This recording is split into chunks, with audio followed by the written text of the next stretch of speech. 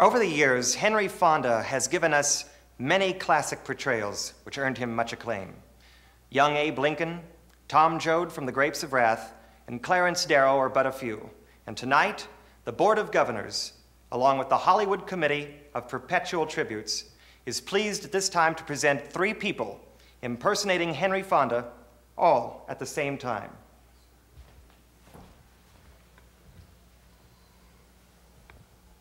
Well, Well, gentlemen, if I I reckon the best can please be allowed to continue, out. we could get this Where melee over fight so with. people can eat, I'll be Not one there. jury here ashamed to do can it deny the fact that I've been themselves. center the Beating road. up on a For instance, you take Jeremiah there. Johnson over there. If Now, Casey my client Find is a more I'll be there in the decent, God-fearing the man on the face of this earth. Damn it, The I'll let you know that the evidence When founded by the state supper's reads ready. rests on a holy pedestal Well, about we're all his part might go something like this. Well, let me just Blessed are the merciful. my Sense to reputation me goes that- They shall find mercy. I know Well, it'll Mr. be Judson's true. Everyone knows.